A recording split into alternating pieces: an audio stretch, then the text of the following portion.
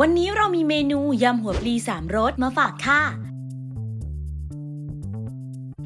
วิธีทำน้ำยำ ใส่น้ำปลา น้ำตาลปี๊บ น้ำ และน้ำมะขามเปียกเข้มข้นตราเนเจอร์เทส ลงในภาชนะนำขึ้นตั้งไฟ เคี่ยวจนข้นเล็กน้อยแล้วปิดไฟพักไว้ให้เย็น ใส่น้ำพริกเผากะทิสำเร็จรูปและส่วนผสมที่เคี่ยวพักไว้ลงในภาชนะ คนให้เข้ากันแล้วเติมพริกขี้หนูซอย คนให้เข้ากันอีกครั้ง เตรียมไว้